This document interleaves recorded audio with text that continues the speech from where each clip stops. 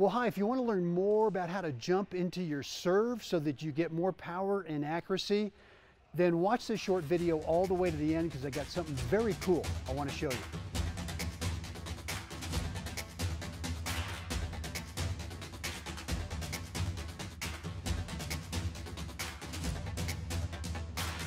Brent Abel here, webtennis.com, and after having won 10 national USA age group titles in both singles and doubles, and a 45 year coaching career, let's see what actually works. One of the big mistakes that we make when we jump into the serve or up to the, the ball uh, is that we get onto our front foot too early.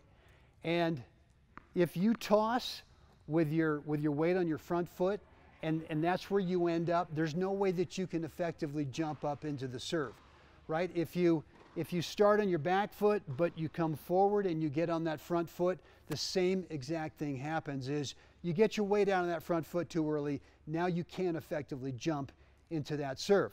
What I like to do is I actually start on my front foot. I like to sort of rock back in here, get my weight in the back foot. So now I'm loading up the back foot to get ready to jump forward into the, into the toss. So you can feel it either by starting here in your front foot or you could start here in the back foot. So you want to make sure that you keep the toss out in front and that you start your jump from the back foot, which is, which is just like that. So get out there, try this drill, try this exercise of making sure that when you jump up, and remember, we're jumping up and out right? We're not, we're not jumping straight up. We want the toss slightly in front so that we can launch ourselves, jump. We can jump up and out and land inside the baseline. All right, thank you for watching this video all the way to the end. Would really appreciate it if you'd like and subscribe to this YouTube channel.